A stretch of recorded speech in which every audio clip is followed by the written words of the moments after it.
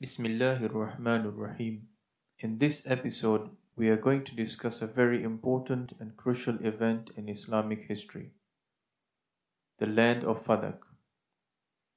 Fadak was situated north of Medina at a distance of two or three days' journey. It was a very fertile land where, according to the reports of Ibn Abil Hadid, date groves were not less than those of Kufa of 13th century, and whose income was between 24,000 and 70,000 dinars. It was inhabited by a Jewish tribe.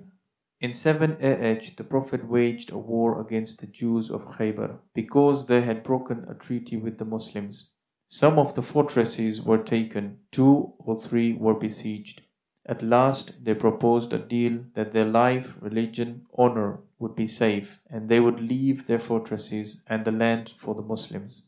The agreement was concluded, the Jews were allowed to work on the land on behalf of the Muslims, and the produce was shared between the Jews and the Muslims half and half. According to the ayah of the Quran, Surah 8, verse 41, one fifth of the fortresses and land was given to the Prophet as khums, and the remaining four fifth to the Muslims. When the Jews of Fadak heard of the Battle of Khaybar and the resulting agreement, they began thinking about themselves. At the same time, a messenger came to them from Medina inviting them to Islam. They refused to accept Islam but on their own accord offered peace on the following terms. Number one, they would give half of their land to the Prophet and the other half remaining in their possession.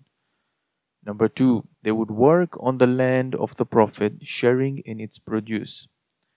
Number three, the Prophet would have authority to turn them out of Fadak whenever he so wished, but he would have to pay them full price of their share of land and property. The Prophet accepted these terms. Some Muslims thought that Fadak also was Muslim property, like Khaybar. But it is their misunderstanding because long before that, in the case of Banu Nazir, the law was promulgated that whatever comes to the Prophet without military expedition was the Prophet's personal property, for him to use or divide as he thought appropriate. As the Quran says, Surah 59, verse 6.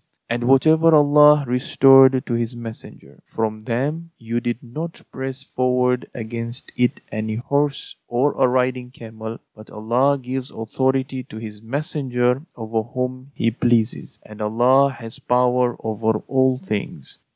Banu Nazir were banished from Medina in the beginning of third year of Hijrah. They were allowed to take whatever the camels could carry except arms.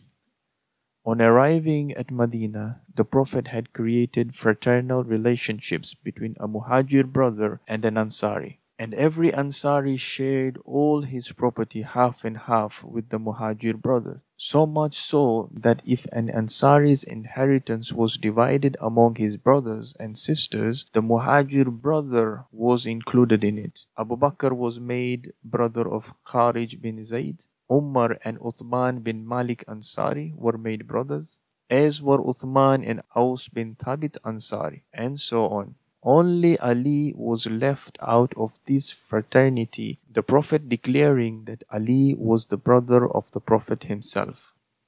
On acquiring the property of Banu Nazir, the Prophet on his own decided to divide it among the Muhajirin and release the Ansar from the burden. He did so and included two extremely poor Ansar in the list, Abu Dajana and Sahal ibn Hanif. So all Muhajirin, including Abu Bakr, Umar, and Uthman, got their shares from the land and it became their personal property. It was not for maintenance only. In the same way, Fadak became a personal property of the Prophet and he managed it himself. Then another ayah came, Surah 17, verse 26, and give to the near of kin his due. The Prophet asked Jibreel the meaning of this revelation. He said, Give Fadak to Fatima. It will be a source of income to her and her children.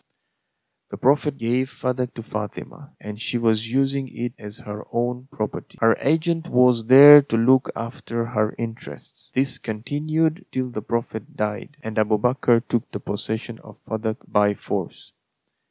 In the next episode, we are going to discuss what happened after Fadak was taken by force.